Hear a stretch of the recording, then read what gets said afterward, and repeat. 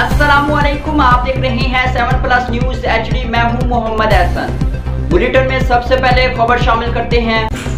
खैरपुर टामी वाली से हमारे सीनियर रिपोर्टर इसमाइल नवाज़ की रिपोर्ट के मुताबिक, तहसील हेडक्वार्टर की बैक साइड गली में बिजली की नंगी तारें नीचे पड़ी हैं और लोगों के घरों की छतों से गुजर रही हैं। Exclusive footage seven plus news HD ने हासिल कर ली। हमारी वापना इंतजामिया से गुजारिश है कि वो इस पर फौरी एक्शन लें। बारिश जब आती है, खुदा न खास्ता कोई हादसा हो गया तो कौन जिम्मेदार होगा? अहल इलाका ने एस डी वापडा से एक्शन लेने का मुतालबा किया है।